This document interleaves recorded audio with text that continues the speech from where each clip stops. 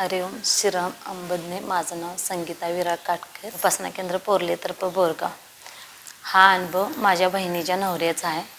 चार वर्षापूर्वी त्यांचा ॲक्सिडेंट झाला होता पोळ्यात.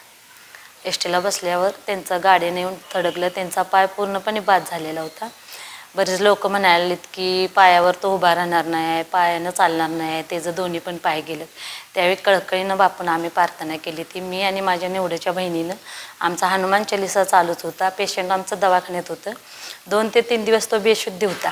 चौथे दिवशी त्याचं ऑपरेशन झालं. पाय त्याचा तीन दिवस ओपनच करून ठेवलेला होता. त्यावेळी बापूंना मी मनापासून सांगितले की बापू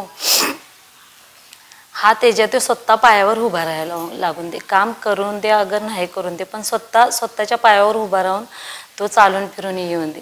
बापूने आमचं खरोखर त्यावेळी ऐकलं. आमच्या पेशंटची पाच ऑपरेशन एकाच पायाची झालेली होती. तो नऊ महिने घरात झोपून होता. नऊ महिन्यानंतर तो आता हळूहळू स्वतः त्याची हालचाल त्याने केली. तो आता हिंडून फिरून येतोय. तो आता एका छोट्याशा दुकानात चार हजार रुपयेमध्ये कामावर पण आहे मग मी बापूंना सांगितलेलं होतं की बापू तो त्याच्या पायावर चालून दे. मी तुमचं चरण तो बापू भक्त नाही आहे. पण मी तुमचं चरण त्याच्या घरात पुसतो मनुष्याने. मग त्यांच्यात पण आज असं झालं तसं झालं करण्यात ते पादुका पूजन तीन ते चार वर्ष राहिलेलं होतं. परवा मनापासून विच्छा झाली आणि त्यांनी गुरुवारी ते पादुका पूजन केलं.